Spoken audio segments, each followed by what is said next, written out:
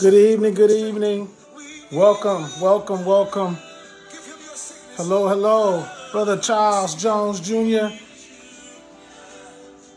Bless you, Brother Smith.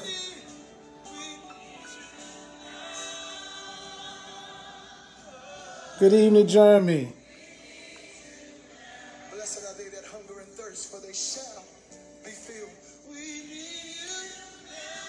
Thank you, thank you for tuning in to All Nations Church Bible study on Tuesday night.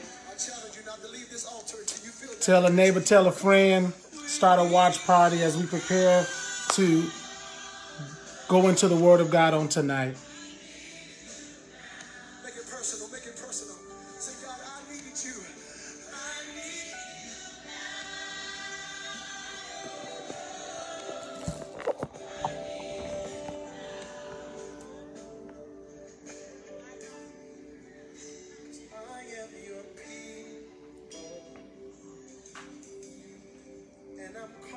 Hello, Sister Simone. Hello, Sister Wanda. God bless you. God bless you.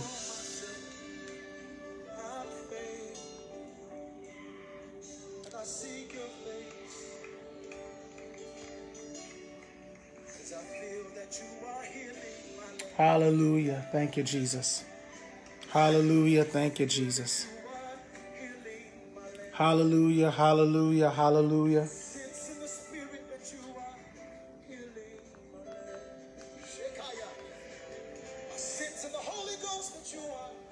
You're mine.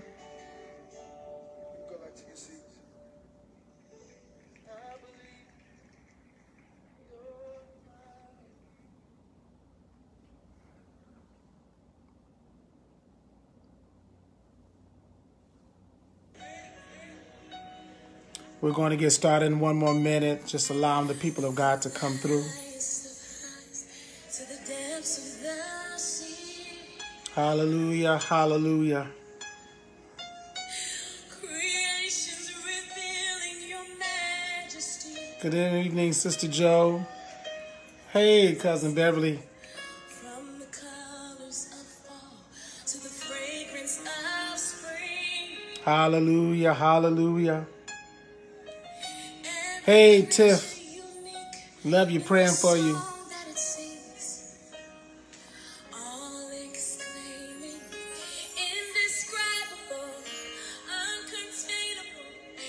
Hallelujah. Hello, Lady Carolyn Sanders. You are amazing, God. He's an amazing God.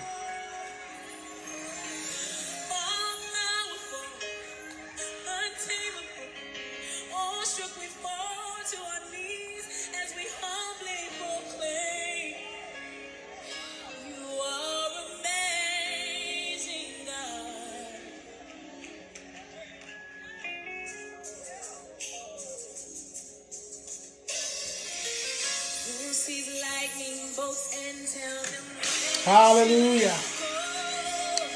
Hallelujah. Thank you, Jesus. Hello, Sister April. Celebrated a birthday just recently. Everyone say happy birthday, Sister April Thompson. Hallelujah. Gracious God, we thank you for this day. We thank you for life, health, and strength. We thank you because you are God and you are God alone.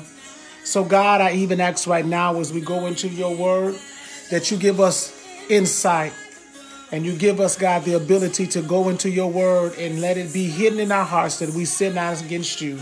God, let a word be spoken that will bring healing, deliverance, and set the captive free. We thank you for your word. We bless you for your word. And for we know it's by your word that we are able to live. And we ask that you allow us to eat from your table where the feast of the Lord is going on. And whatever we need on tonight, that you will supply every need according to your riches and glory. We thank you for it. We bless you for you and we magnify you. In Jesus' name, amen. Amen. We serve an amazing God. Hallelujah. All right, I'm gonna tune that down because if I keep going and I'll I'll get happy here. So let me uh tune that down here. Thank you all for tuning in to the All Nations Church of God in Christ. Uh, no place like this place, nowhere near this place. Uh, so this must be the place. And we appreciate everyone tuning in on tonight uh, because we know that God is an awesome God and he's worthy to be praised. Amen. Thank you all for joining us on tonight. And uh, won't be before you long. We'll uh, go through the word of God and uh, preferably something that has been spoken or said on tonight will encourage the hearts of the people. Amen. Brother Tremaine Love is on tonight. God bless you, sir. Amen. Listen, uh, we're going to go uh, into the word. Let's uh, let me go back a few things. I've been back. I, I finally got up. I think Martha and Mary. Um, I'm going to deal on the tail and spin off on um, Cain and Abel on tonight and uh, pick up from where I left off there on from the last week. But uh, just to recap, and everyone knows in Bible study, I love to recap some things to make sure that we're clear. We're going. So as we're uh, on this series, that two is better than one, um, and uh, why can't we all just get along? Uh, hashtag that. Um, in essence of this, we're teaching about team. Uh, team. Remember, team represents teach each other encourage each other, appreciate each other, and motivate each other. Um, that is our theme that we're dealing with is our team. And uh, I still haven't even got to the T yet. Uh, I probably won't get to the T tonight as well. But uh, we're going to get as close to the T as we can on tonight, which is the teach. Uh, in essence of everything that's going on, we have to learn how to work together and be as a body of Christ. Um, so we talked about last week about the vine and being connected to the vine and the vine that's Jesus Christ. And uh, as the being connected to the vine, we become the branches. So two things you needed to take from last week was being connected and corrected. I uh, talked about being connected to the vine and then also that allowing that person that is connected to the vine is being corrected. That means that Christ comes in, the, the, the vine dresser correct us and prunes us and gets us to a place that we can continue to bear fruit. Uh, if we're not bearing fruit in this season, if we're not bearing the things that we need to bear in order to be effective in the body of Christ, then that means we may not have allowed God to correct us in some areas to get rid of some dead stuff so some things in our lives can begin to live. So uh, we have to be willing to be connected to the vine as well as allowing uh, Christ to correct us. So connection and correction is critical in the ability for us to be able to effectively communicate to one another. Again, being uh, connected and corrected is critical in order for us to be able to communicate with one another if we're going to get along and be able to talk to one another. Talked about again, uh, churches being the branches, the organizations that are producing the fruit. Uh, denominations are like those branches, and we have to be connected to the vine in order to produce that fruit. So the question was on last week, are you producing or are you profiting? Are you producing or are you profiting? And we have to make sure that we are producing and not just profiting off of the things that God has blessed us with. We have to be producers, meaning we're constantly allowing our lives to produce the fruit that's needed in order so the people of God can continue to see the light of Jesus. So tonight, tonight I want to go and go back, uh, a little bit to uh, Cain and Abel, and I, I promise you, I'm, I'm, trying to be finished with Cain and Abel and Mary and Martha on tonight. Uh, but I want to pull out these nuggets that are there so that we can hear the information uh, that the Bible is trying to convey to us. So uh, as we've connected ourselves and we've become corrected, and we're now having a better communication line so that we can effectively work together as a people. Some other things I want to look at. Uh, we dealt with, and I weaned off a little bit about the spirit of rejection. All right. Uh, the spirit of rejection. We know that rejection really hurts, but it can also inflict damage to our psychological well-being. Uh, that goes beyond emotional pain. Let me say it again. Rejection really hurts, but it can inflict damage to our psychological well-being uh, that goes beyond emotional pain the psychological portion of this. So Cain and Abel, and dealing with this, this thing became psychological. This thing came beyond just him seeing something physically that he was bringing to God as a gift. This thing got into his psyche and it became psychological uh, to the point that the Bible says that he went and he invited his brother to come out with him and he kills his brother. So, uh, with these things, as far as psychological, I want to deal with a few things on there. Again, I am not a psychiatrist, or psychologist. I'm just giving from studies and research, uh, in regards to how things affect us psychologically. All right. So, we can uh, relive and ex- re-experience social pain more vividly than we can physical pain. Let me say that again. We can relive and re-experience social pain more vividly than we can physical pain. Meaning that things that people say, things that people do to us uh, that are not physical can be relived and re-experienced uh, more vividly than physical pain. Meaning more vividly somebody hitting you. Uh-huh. Your mom can give you a whooping. Your dad can give you a whooping. That pain is going to last for a little while. You're going to remember that whooping for a little while. But what the words that comes out of someone's mouth can be more deadly than someone hitting you or punching you or, or stumping on your, stepping on your toe. Words, people say sticks and may, uh, may break my bones, but words will never hurt me. That's a lie from the pit of hell. Words will hurt you and words will cause you to cause you to put you in a place that you don't want to go to sometimes because it allows you to relive and re-experience the thoughts in your mind of what someone has spoken or what someone has done. Okay. Understand just because someone did uh, say something to you, that's not the only process of that. People can also not do something that can be also affecting to your psychological mind. What am I saying? If uh, a child expects their parent to show up at an event that they are involved in and they don't show up, because they didn't show up, it goes to their psychological mindset as to them not being there. I told you on last week that when uh, Cain got to the point that God drove him out, the Bible says that he says, whatever you do, don't, I don't want to do this. He said, because it drives me out of your presence. Not being in the presence of God was going to affect him greatly. When a child, when someone has, a, or even if somebody has an expectation of you to be present and you don't show up, it speaks to them and it has a communication line that talks to their brain. You didn't say nothing. You, because it wasn't because of what you didn't do, say, it's because of what you didn't do. You can be just as hurtful in your actions or your non-actions as you can be with the words that come out of your mouth. So because uh, Jesus, because the Lord had driven uh, Cain out of the garden, it affected him. He said, wait a minute, I won't be in your presence. The power of presence is very something needed in people's lives. And so if a person is expecting you to show up and you don't show up, that affects their mental state. So what happens is when someone says something to you that really gets to you or gets under your skin, uh, I, I, maybe I maybe it's just like me. Sometimes it rehashes in my mind over and over again to the point. Why did they say that?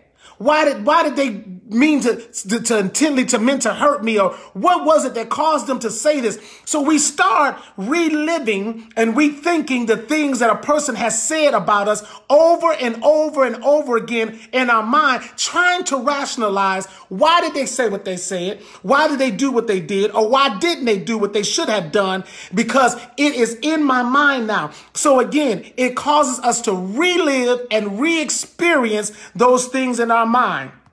So, uh, the recalling an experience in which you felt significant physical pain and your brain pathways respond to. So, in other words, the memory alone won't elicit physical pain, but try reliving a pain of rejection. Actually, it will. Uh, you will be flooded with many of the same feelings uh, that happened at the time that it occurred.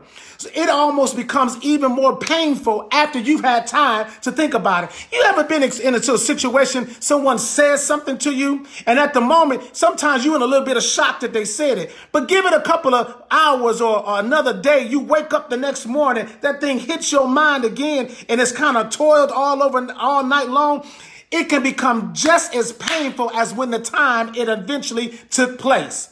What am I saying? Sometimes in life, uh, people experience painful situations, and it's later on and days later, after it has sunk in, it gets into your mindset and it causes you just as much pain as it was when it first happened. So we have to understand that at this point, Cain was experiencing uh, this spiritual mindset of going on in his mind that you didn't give me the attention that you gave my brother. So now I'm feeling this spirit of rejection because you didn't accept what I brought to you. Uh huh. When people don't feel accepted, they take on the spirit of rejection. So because they keep reliving what did not happen or what did not take place. I can imagine that Cain kept reliving the situation when God said to him, uh, you didn't do this the way I wanted you to really do it. Your spirit wasn't right. So I need you to try again and I need you to do it over. And Cain is saying, wait a minute, you took my brothers, but not mine. You accepted his gift, but not my gift. And as it began to replay and as it began to keep going and as God began to have a conversation conversation with him, he's thinking to myself, he says, you, you didn't really like the gift. But see, what Cain messed up was he thought that God didn't like him. People will take the situation and internalize it to the point and you take it personal that it's about me that you don't like. So he almost took on the mindset that you're really saying you don't like me. It wasn't about liking him. It was about his attitude and what he brought to God that was not acceptable wasn't that Cain was not acceptable. It was what he brought to him he did not accept. People of God, you have to understand and you have to internalize sometimes to the point to get past that it's not about, uh, it's not about the person personally. We take things too personal. We take it and say, oh, you meant that towards me, or this was me. And so when you take it personal, then you no longer become professional. Uh-huh. When you take it personal, you stop being professional because now you feel that this was an attack towards me. So Cain felt that this was an attack towards him. So what he did was he attacked his brother. He left from the mindset of the accepting to the spirit of rejection, and then he took on the mindset, I'm now going to attack my brother. So, re- uh, rejection, because I got to get this finished. Rejection now uh, takes on a destabilizing of the I need to belong. Mm-hmm. Takes on the mindset that I need to belong. We all have a fundamental need to belong to a group. I hope I help somebody on tonight. When we get rejected, this need becomes destabilized and the disconnection we feel adds to our emotional pain. Reconnecting with those who we love, who love us, or reaching out to the members of groups to which we feel strongly affiliated with and have the acceptance of has been found to soothe us emotionally. It soothes our pain emotionally. Feeling alone and disconnected after a rejection, however, has an often overlooked impact on our behavior. So we take on the sense of needing to belong. That's why people act out. That's why people want attention because they feel the sense of the need to want to belong. So if I've been rejected by this group, but this group is over here. I start doing things so I can be accepted by that group because I've now taken on the need to belong because I have the spirit of rejection sitting in me that says, ah, you don't have anywhere to go. So you find a place to go to feel the need that you have to be wanted by someone, needed by someone, because we take on the spirit of needing to belong. So what happens is next rejection creates surges of energy and aggression, energy and aggression. So uh, this is why we have the countless numbers of uh, uh, killings in our society, in our community, school shootings, violence against women, uh, people going postal in the workplace because now rejection creates a surge of anger and aggression. It takes on anger and aggression. You find in the text uh, in Genesis that now Cain has left because he doesn't feel belonged or he doesn't feel like he belongs. Now he takes on anger and aggression. When he takes on the anger and aggression, he seeks now to kill his brother. Uh-huh. When you feel like your idea has not been accepted uh, when they having a meeting, you become upset. And when you get upset, uh, you because you feel like, oh, now I, I, oh, y'all don't want me to be a part of this. Then you have on and take on anger and aggression. So during the meeting, you ever notice people get real aggressive? uh, because of maybe you didn't agree with their idea and then they start talking real aggressively. That's that mental psychological mindset that's happening with them where they become angry and aggression begins to kick in. So now Cain has anger and aggression and he seeks out to kill his brother. Rejection now sends on a mission to seek and destroy your self-esteem. We uh, uh, uh, are often built by the accolades of other people and what someone says to us. So if somebody does not give me credit or someone does not uh, give me praise, now it affects my self-esteem. Help me to God. Help me tonight, God. We often respond uh, to romantic rejections by finding fault in other in ourselves um, by uh, finding inadequacies in ourselves. So what happens is when a person is in a relationship with someone, and that person seemingly does not respond back the way you want them to respond, what's the next thing that happens? The person now gets into a place to feel that they're inadequate and they start finding fault and errors with their life. Oh, I don't look right. Uh, my hair is not right. Mm, uh, I need to be skinny or I may need a little bit more weight on me. Uh, I need to go and do this to myself. I need to do that to myself. You start feeling like you're inadequate and you're not enough. But I'm here to tell you, you are enough. The Bible tells us that we are fearfully and wonderfully made. God made you with the right curves. God made you with the right eyes, the right nose, um, whether it's big, small, whatever it may look like, because he made you. The Bible says after he made man and woman, he said it was good. I'm here to tell you that you're good enough. When God says you're good enough, it makes no difference what no man, no woman, no one else has to say about you. You got to look in the mirror and say that I'm good enough. I look good enough. I don't care if you don't like what I look like. God made me and that's good enough. And if God is pleased with the way he made me, I need to be learned to be pleased with myself. Stop changing yourself for somebody else. Because after you get done changing yourself for somebody else, you'll end up losing that person. And now you are looking like something that they want. And then the person who God intended for you to have, you make a misrepresentation of yourself because you set yourself up to look good for somebody who never even wanted you, who didn't think you were good at all. So learn how to be happy with what God made you to be. How God made you to look, be happy with the way you look. Uh, don't let situations and stuff come in your life to affect your self-esteem. Ah, so rejections in those relationships affect how we uh, uh, act in our chemistry, chemistry mindset. Uh, we blame ourselves and attacking our self-worth only deepens the emotional pain that we feel. I can imagine that Cain began to have a deepened uh, relationship with himself, with himself in his mind to say, I'm not good enough. Uh, I didn't do this well enough. Uh, so I now uh, feel rejected because I am not good enough. So rejection does not respond to reason. Rejection does not respond to reason. Uh, let me let me go back real quick here to, to show you how rejection does not respond to reason. So when we go back to that text in Genesis, let's look at that real quick. Uh, and I'm, I'm, moving quickly along. Uh, the Bible says that uh, the Lord tells him, He says, uh, Cain. Let's go to verse six. The Lord said to Cain, "Why are you angry? Angry? Why is your face?" Downcast, if you do what is right, will you not be accepted?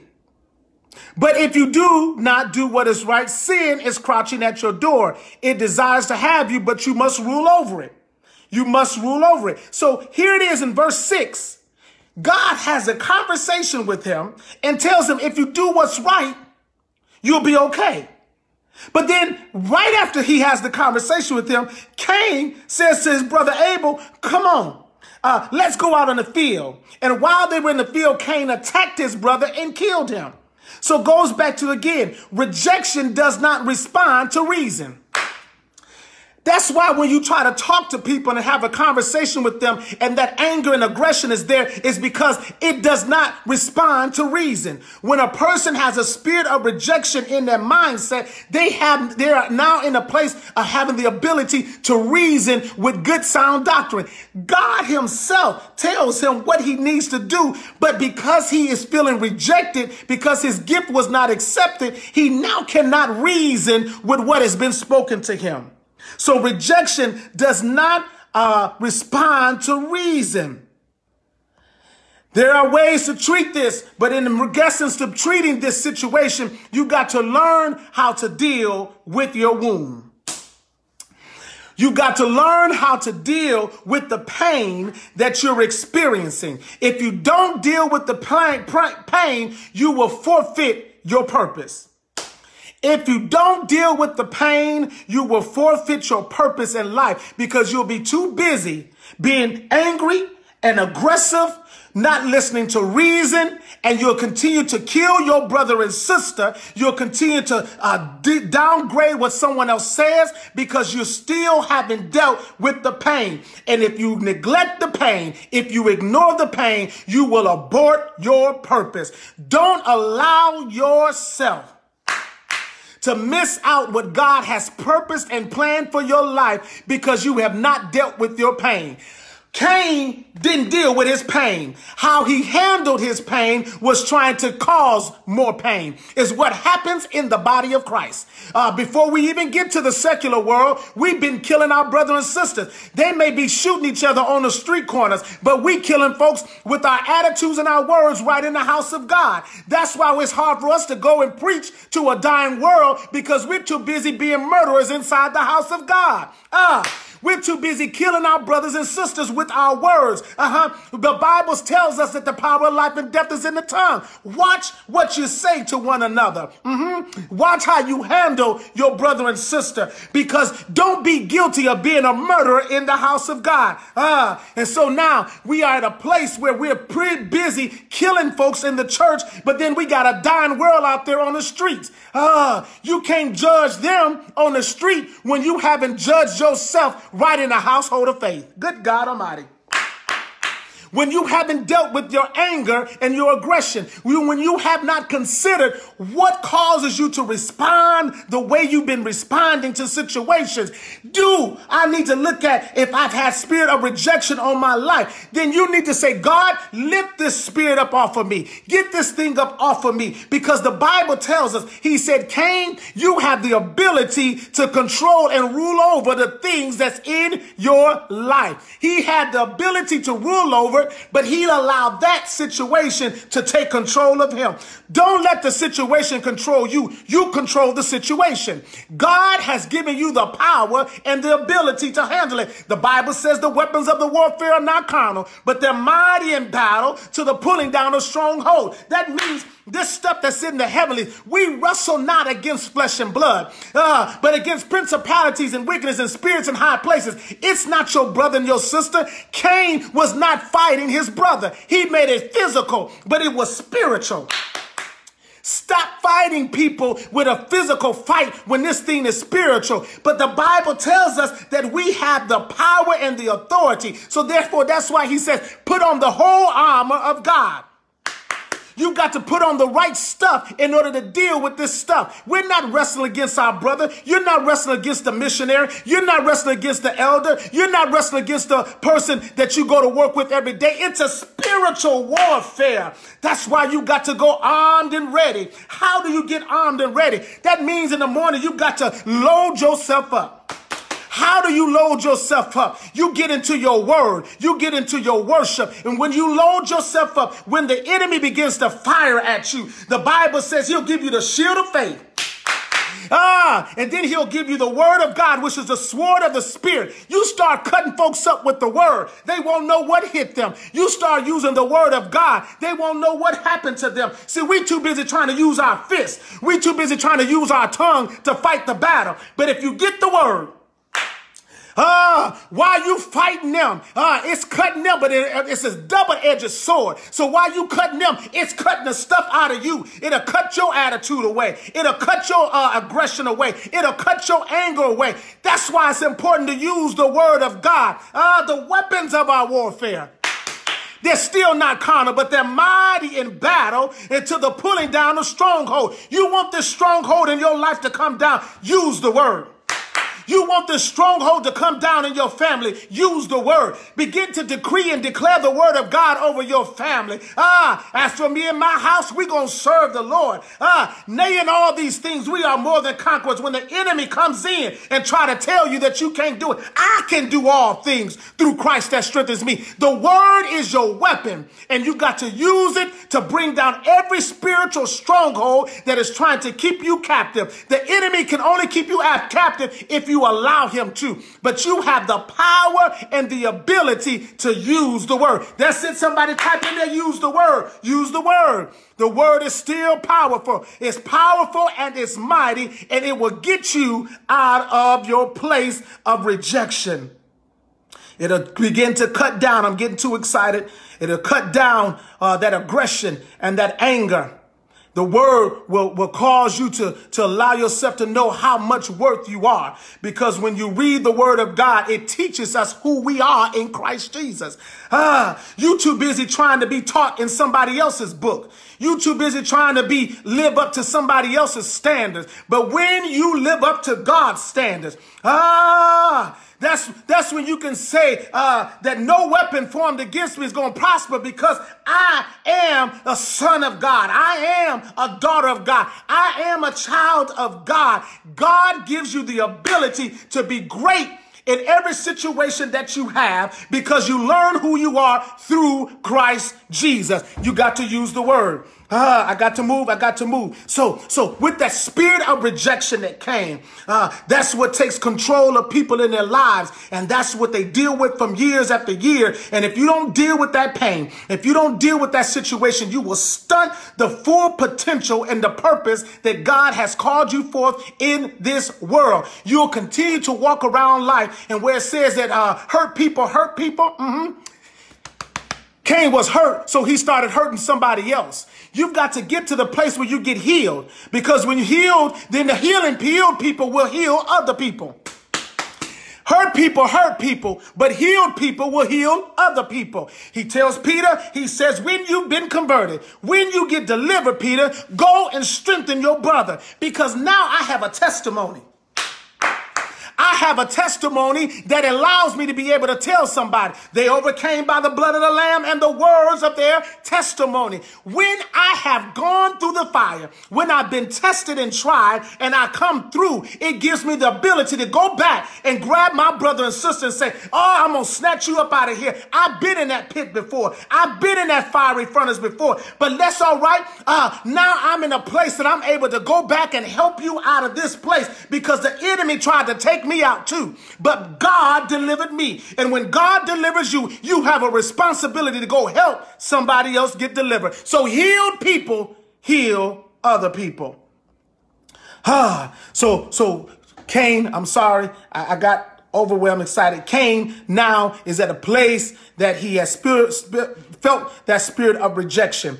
Ah, my apology again for getting too excited. I get to holler in in the in the uh, phone. So let me move on. Let me move on. Um, so Again, we can relive the, and re-experience those social pains more vividly than the physical pain. Uh, some people are not just hurt by what is said, but also by what did not, what somebody did not do.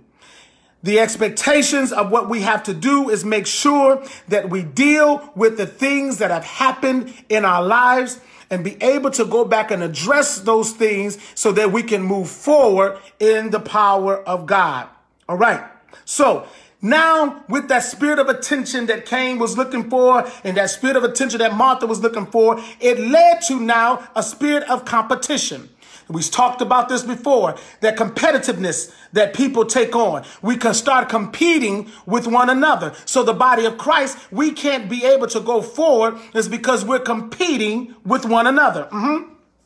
We have on a competitive spirit. So instead of us collaborating, we start complete competing with one another and saying, Hey, you got a great idea. And I put my idea with your idea. We can make something happen. We can make something go forward. But now we take on uh, a competitive attitude because it's, uh, do I get the accolades. Uh-huh. Uh, do I get the praise? Because I want to make sure people recognize that I did this, that I did that. Nowhere in team that I spelled out was there a letter I. Uh-uh. There's no I in that word team at all. It, it, it doesn't show up now. You can try to put it in there, but you won't get the same word. All right. So people want to be recognized. People want to make sure that they get the credit and they get the glory. So when they don't get the attention, mm-hmm, when they don't get the accolades, they now go into competitive mode that I've got to now compete towards you versus collaborating with you. I'm now in competition with you. Mm-hmm. Cain made the situation with his brother a competition. Uh, it wasn't a competition, Cain. It, it had nothing to do with a competition. It was about you becoming complete in God. And so what it is, instead of being uh, competitive, you need to get complete. Instead of trying to be competitive with your brother and sister, you need to get complete because when you become complete and whole in God, you don't have to worry about competing with nobody. Why? Because you know who you are and you know whose you are. So I have no need to compete. You can be the best at some of everything in your life, but I'm content with who and how God made me, with the gifts that He's given me, because I am now complete and I'm whole with God. So I don't have to compete when I'm already complete.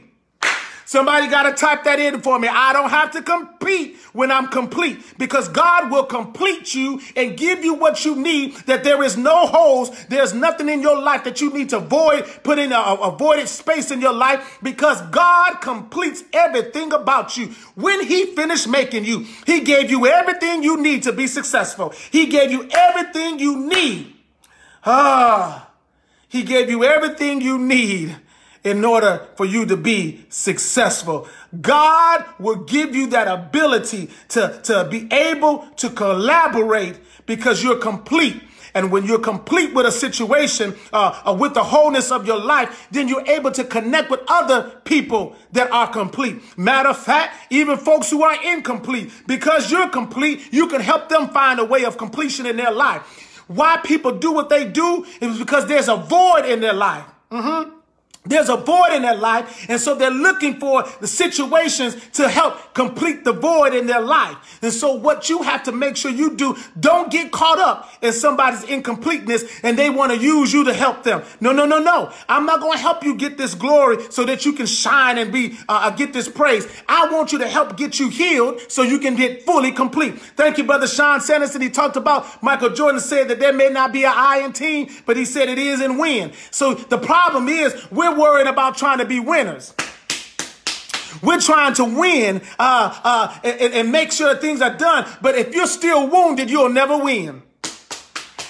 You need to learn how to get, get healed so then that you can be able to help someone else. So the spirit of competition comes in. So let me give you some word. Go to Philippians chapter 2 for me. Go to Philippians chapter 2. Philippians chapter 2. Go with me real quick. Philippians chapter 2. Thank you, Jesus. Philippians chapter 2. Philippians chapter 2.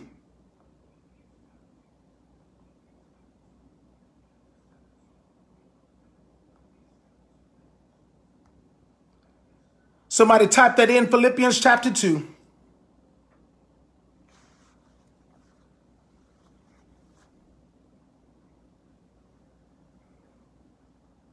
All right.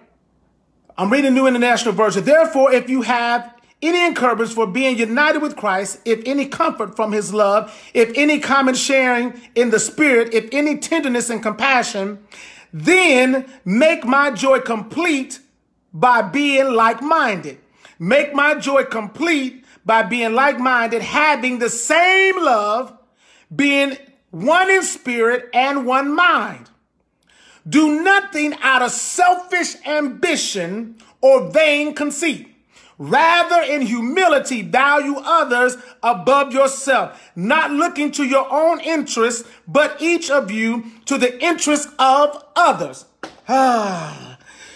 Then making my joy complete by being like minded, having the same love, being one in spirit and one mind. Do nothing out of selfish ambition or vain conceit. Rather, in humility, value others above yourselves, not looking to your own interests, but each of you to the interests of others. Uh, he said, goes on to say, in other relationships with one another, have the same mindset of Jesus Christ, who being in the virtue nature of God did not consider uh, equality with God uh, something to be used to his own advantage. Rather, he made himself nothing. If we are going to be able to make sure that we don't compete with one another, but we make sure that we collaborate with one another, the Bible tells us that we are to be like-minded, having the same love, being one in spirit and one in mind, and not doing anything for selfish ambition. This ain't about you. This ain't about you getting the glory. God gets all the glory. Uh, this is not about you getting uh, the recognition in something. There's so many times in the body of Christ, we want to get recognition and we want to get the glory. We want somebody to call our name on the program. Make sure that I get a thank you. Make sure when they get up, they say my name because if they don't say my name, uh, I ain't doing nothing else for them. Don't put me on another program. Don't call me to do nothing else because I did all of this work. I did that, I did this, but you didn't say my name. You didn't give me the accolades that I deserve. Mm. You did it then in self ambition and vain conceit. This was all about you. This wasn't had nothing to do with God. You got to be careful when you sign up to do the work for Christ. Because if you sign up to do the work for Christ, you're doing it on behalf of Christ. Uh huh. Not for yourself. So here it is. He tells us you got to be of like mind and one mind and one love, one spirit. It's got to be your mindset. Stop trying to do things to impress uh, other folks so that you can get recognition. You've got to do it so that God is glorified. All right. So, so, so let me move. Let me move. Let me move. Let me move. So here, here we have, uh, where he says, let me go to the message version. It says, if you've gotten anything out of following Christ, his love has made any difference in your life, if being in a community of the Spirit means anything to you, if you have a heart, if you care, then do me a favor, Paul says, agree with each other, love each other, and be deep spirited friends. Don't push away to the front, push your way to the front. Don't sweet talk your way to the top. Put yourself aside and help others get ahead. Put yourself aside uh, and let help others get ahead. Don't be obsessed with getting your own advantage. Forget yourself long enough to lend a helping hand. Forget about what your desires are and be willing to help someone else. He says, think of yourselves the way Christ Jesus thought of himself. He had equal status. I need you to hear this on tonight. Christ had equal status with God, but he did not think so much of himself that he had to cling to the advantages of that status no matter what.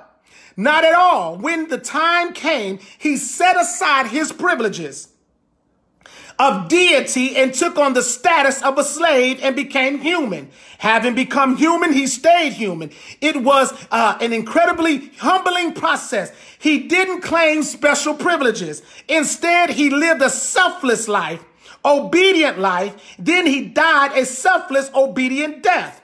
And the worst kind of death there was of crucifixion. So I want to tell somebody that's listening on the sound of my voice, don't let status keep you from being a servant.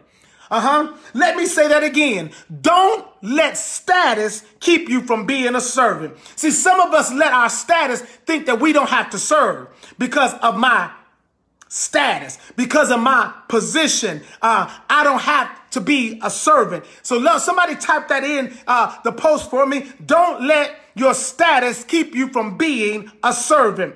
Don't let uh, the title keep you from carrying a towel. Let me say it again. Don't let the title keep you from carrying a towel. The towel allows you to be able to help wipe the sweat from someone else who's working just as hard as you. But you think because you got a title, you don't have to carry a towel. You think because you have a high status, you don't have to serve nobody. Ah, don't let your position mess you up. Don't let your position put you in a place that you are not positioned in the right spot for God because your position with God is what's important for your elevation in life. Uh, but what happens is we allow the title and the status think that we can no longer serve. Uh, I don't care what position you are in leadership. You have to learn to serve.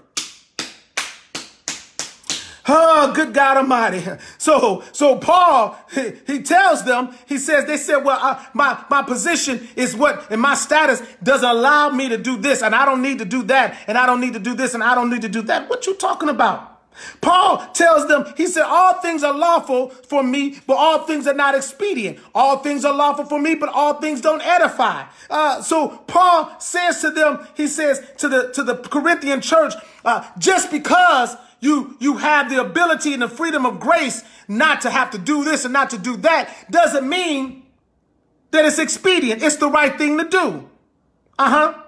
I, I, am really gonna run out of time, but I need I want to hit that real quick. Let, let's go, let's go real quick uh uh to that real quick.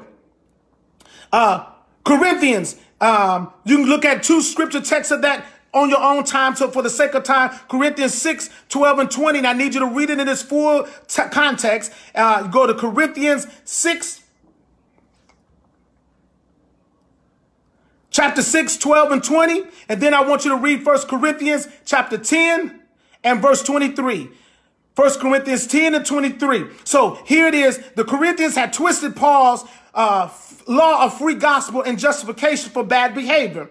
Thus, the phrase of all things are lawful is not an expression of Christian freedom from the apostle Paul, but rather an expression uh, for those who were doing sexual immorality. So understand, Paul is writing this letter to the Corinthian church, but it's in response to what they have written to him. You have to understand the context of this Bible text that is going on with Paul to the Corinthian church is he's responding to the things that the people have sent and stated to him. So this is a response letter. So what they're saying is all things are lawful. Paul said, Oh, so what you're saying is, oh, all things are lawful, uh, but I'm here to tell you just because it's lawful doesn't mean it's expedient. Uh, one of the reasons the Corinthian were in error was the fact that they viewed the physical body as in, uh, inconsensual uh, to God's moral economy.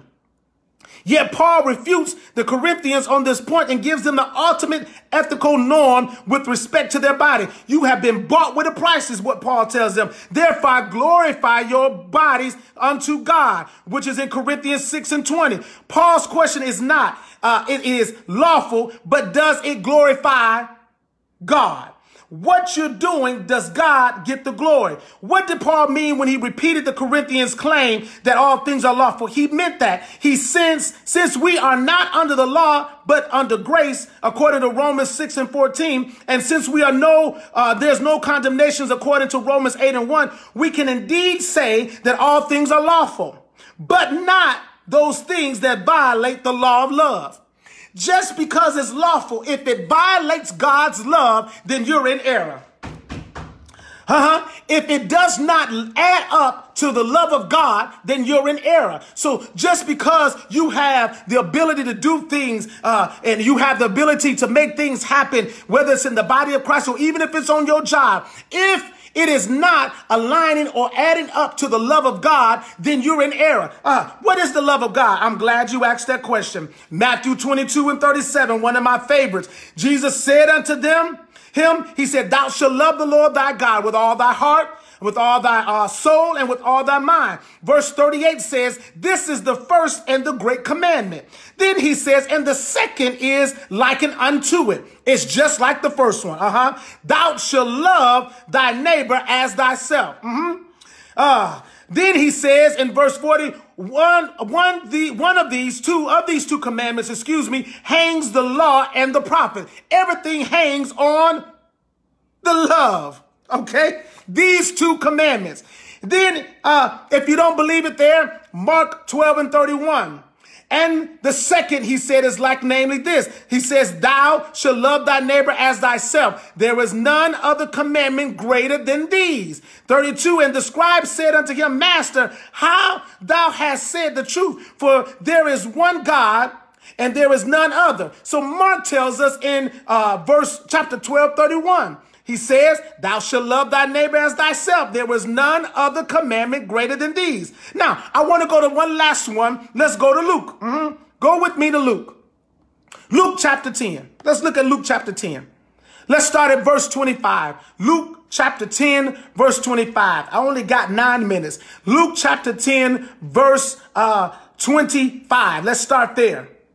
Luke 10, 25. Uh, somebody put in there Luke chapter 10, verse 25 through verse 31. Mhm. And behold, a certain Lord stood up and tempted him, saying, Master, what shall I do to inherit eternal life? He said unto him, What is written in the law? How readest thou? What's in the law? What's in the what does the word say? And he answered and said, Thou shalt love the Lord thy God with all thy heart, and with all thy soul, and with all thy strength, and with all thy mind, and thy neighbor as thyself. And he said unto him, Thou hast answered right. This do, and thou shalt live. He says, Thou, you answer God with your heart, soul, strength, and mind, and thy neighbor as thyself. But this is what I love about it. What Jesus said, He said, If you do it, you will live. Some of you are dying because you're not loving. When you start loving people right and you start loving God right, you will start living right. Good God Almighty. Uh, if you're wondering why you're in a, a state of being where it seems like your life is, is on life support, seems like you've been on life support for some time, you better check how you're loving God. You better check how you're loving people because He said if you do it right, if you love him with your soul, if you love him with your strength, if you love him with your mind, if you love him from your heart, and you love your neighbor as yourself, he said, if you do this, you will live. You've got to love in order to live. If you love, you will live. Ah, somebody got to tell. If you love, you will live. Ah, the reason the church is dying is because it's missing the factor of love. Ah, we've got to learn how to love. That don't means that means I don't care what you look like. I don't care where you've been. I don't care what you're doing, uh, what you've been doing. You've got to love because when you love folks, no matter what they've done, where they've been, no matter what their race is, what their creed is, I don't care what their sexuality is. I don't care what nationality they are. The love of God is more powerful than anything in this whole wide world. And when you get done loving folks, when you get done loving God the way you need to, they'll begin to experience the love of God. Stop trying to change people. God didn't call you to be their deliverer. He called you to help deliver them. And how you help deliver them is start loving them the way God called you to love them. And by the time God gets his hand on them, they'll begin to do what's right. They'll begin to live what's right. And so we've got to love in order to live. Ah, but he willingly to justify himself said unto Jesus, and who is my neighbor? Good God Almighty, I got to move. Uh, I only got uh, six minutes. He says to him, Who is my neighbor? And Jesus said, A certain man went down from Jerusalem to Jericho and fell among thieves, which stripped him of his raiment and wounded him and departed, leaving him half dead. Uh-huh. By chance there came a certain priest that way and saw him and passed on the other side. Uh-huh. The priest came and the Bible says that the priest passed on the other side. Mhm. I, I'm in verse 31. I'm in verse 31. Verse 31. All right. And likewise in Levite. Uh-huh. The praise and worship person. Uh-huh. The preacher didn't pass him. Now the praise and worship leader is coming. Bible says, and likewise the praise and worship leader, when he was at the place, came and looked on him and passed by on the other side. All because they got to get to church. They got to get up and perform before the people. So I ain't got time to help those who are sick. I don't have time to help somebody that's in need. So we, we pass up the person in need to go sing praise and worship so we can get the attention of already folks who's supposed to be believers. But the one who's an unbeliever that's in need of our aid and our assistance, we walk right past. So the praise and worship leader had to hurry up so they can get the mic. The preacher had to hurry up so they can moon, moan, and tune and get another offering. So they pass the people in need so they can go get the mic. Whew, good God Almighty. I'm just reading the Bible. I'm sorry, I'm just reading the Bible. Then Bible says that a Samaritan, uh-huh, has journey came where he was, and when he saw him, had compassion on him. Whoo, good God Almighty. Huh, that's that's what happens. People allow their title and their position to cause them to think that they no longer need to help. Ah, good God Almighty. Uh huh. The preacher, uh, the priest, and the praise and worship leader walked past uh, because their status told them that they didn't have to be a servant. Oh, good God Almighty. Their status said, I don't have to stoop down and help somebody. Uh, they, they, they, somebody needs to bring me a glass of water. Somebody needs to bring me a towel because I just sang so hard. Uh, but I can't be a servant because of my status. So the priest and the praise and worship leader walked past because their status said, I can't serve. Ooh, good God Almighty. He, my God, today. Uh, so here it is a Samaritan comes, the unlikely person. Uh-huh. And so I'm here to submit to you on tonight. There's going to be some unlikely folks in this season that's going to be the person that's going to help folks out of their situation. I spoke it on the other week. Folks with tattoos, uh, folks uh, with piercings are going to be the ones that's going to be your Samaritans that's going to help somebody in need. Why? Because the status of the preacher, the status of the missionary, the status of the evangelist is I got to find me another itinerary to go and preach to some folks that I've been preaching to so they can shout and dance and twirl around and do a hip, skip, scotch and all this other stuff. Cross their legs, twirl, break dance on the floor and have a good shout. And then after the shout is over, nobody's healed, nobody's delivered. And so now you got a church full of sick folks and you got a world out there still dying because of your status. You couldn't serve the sick. Whoo, good God Almighty. God didn't call us to be inside the church to have a position that we don't reach the lost. Uh, he called us to help somebody, no matter how elevated you get, no matter what position. I don't care if you're a bishop. I don't care if you're the archbishop. When you stop serving God's people, you stop serving God. If you can't serve the people, then that means you have no business in the kingdom of God. Because the Bible says, be careful what you do unto the least of these. Uh-huh. The people who you walking past. Sometimes you don't know who you're entertaining. You could be entertaining an angel. It could be a servant of God. You don't know who you may be ministering to. That could be your next uh, uh, uh, lawyer, your next president, the next person to bring you out of the place of poverty that you may be in because you gave them a kind word. Matter of fact, you speaking life into these people of God and these people that are in need. You don't know who you're helping to bring them out of a situation. The person that you're despising and you're looking down on could be the next senator, could be the next prophetess of your house, that could be the next evangelist, could be the next person in line to do great exploits upon this nation and this world. But you chose to walk on the other side. Huh? You better learn how to serve. And I don't care what your status is. You better learn how to serve God's people. But when you serve him, you got to make sure you serve him with the love of God. You've got to have the love of God in your life. That's why he says, in order to live, you got to love. Oh, good God Almighty. Huh. So, so he tells them, you answered right. And in order for you to love, uh, uh, you'll be able to live. And so he tells them that you have to make sure you do the right thing. Ah, ah. So I, I, I'm, I'm, I'm, I'm, I'm at my time limit. It's 8:30. I've got to stop. Uh, but, but, but listen. Um, I gotta stop. I gotta stop because if I go to the next stop portion, all right. Listen, I, I promise you, on next week I'm going to get to to the Colossians text. I'm going to get to that Colossians text on next week, uh, but I want to to make sure that we are in the essence that we deal with the spirit of rejection.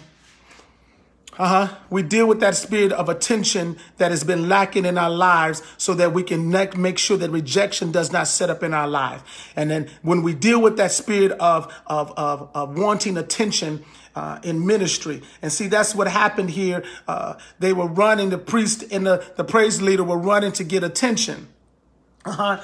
Um, because they probably hadn't dealt with other areas in their life that they had been rejected in. And so, uh, one of the highest places in the church, people can't get status on their job. They can't get certain statuses, uh, out there among the common working place. But when they come to church, they look for a status. Mm-hmm.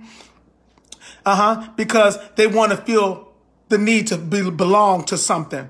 Uh, but I want to tell you, I don't want to belong to nothing but the, but the army of God. And I want God to be pleased with everything in my life. And so that means if I've got to serve, uh, in every, any capacity, then I'll serve. Anybody that knows me, uh, I don't care about being a pastor as a title. That's nothing but a title. Let me tell y'all something. It's a title. Uh, the first thing that he called me to be was to be a servant and I'll forever be a servant. That's why it says they don't, they don't say, no, well done, thy good and faithful pastor. Well done, thy good and faithful servant. Uh, Colossians, I'm sorry, Colossians chapter 3, people of God. Colossians chapter 3 for next week. Um, again, it doesn't say, well done, thy good and faithful prophet or prophetess. Well done, thy good and faithful servant. Uh-huh. If we're going to get along in this day and time, if we're going to be able to communicate, collaborate, and not compete, we got to learn how to serve. He said in that text that you got to have the same mindset, like minds and like spirits. And then at that point, that's why you can't invite everybody into the circle. Oh, I can't go there.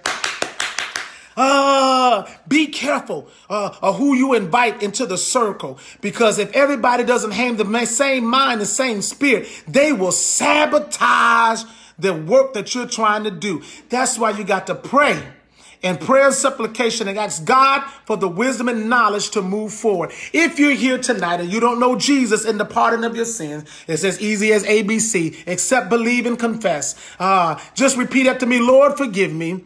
I'm sorry. Cleanse me and wash me. Make me anew. Uh, creating me a clean heart and renewing me the right spirit. God, I need you in my life. I believe that you died for my sins and you rose again and that now I am saved because I've confessed and believed in my heart.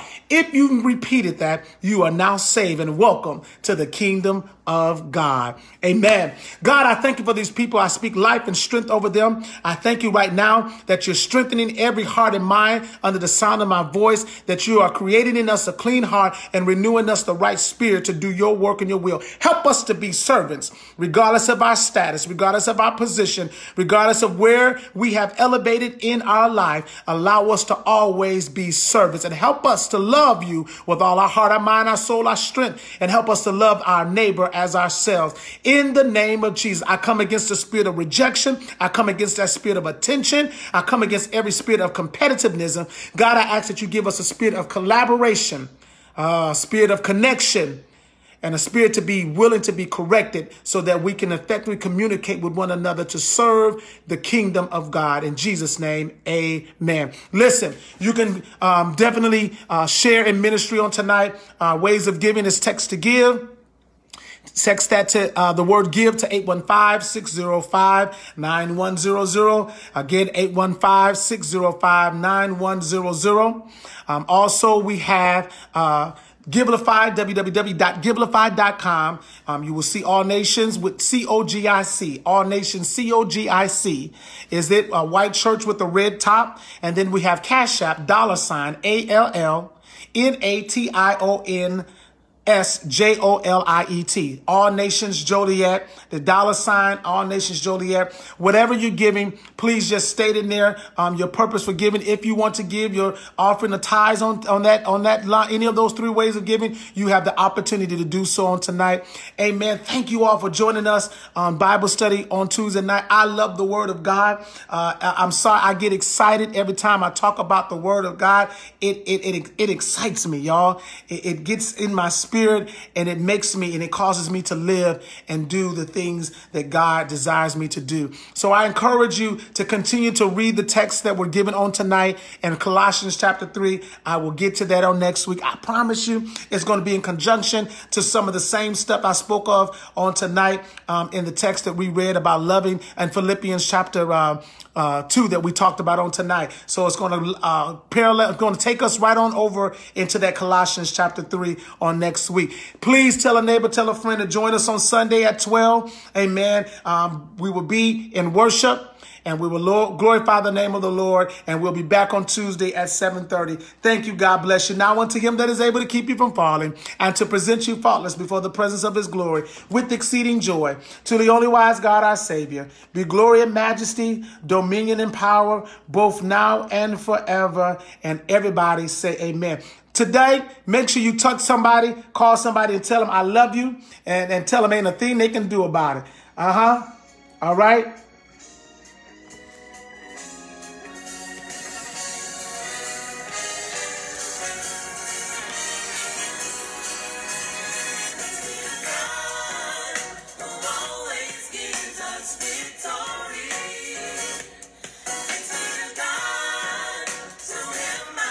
I love you. God bless you.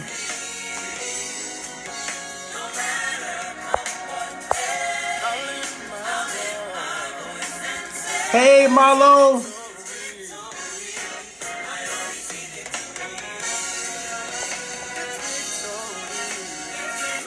Sister Simone, good to see you. Hey, Robin. Robin Shelby, love you.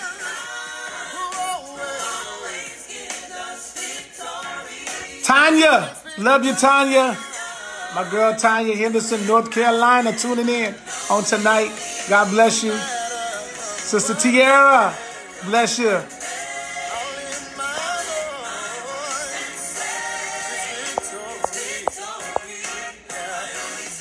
We, I love you too, Sister Robin Miller. The greatest Pastor Aid I have is Robin Miller, Sister Vanessa Shelby. I love you, I love you, I love you. My faithful Tuesday night Bible study, uh, Brother Charles Jones Jr., affectionately Weedy. Bless you, man. I love you, I love you, I love you, and I appreciate you. Hey, Sister Cole.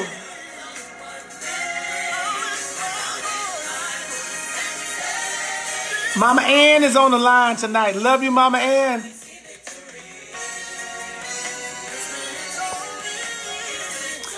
Hallelujah.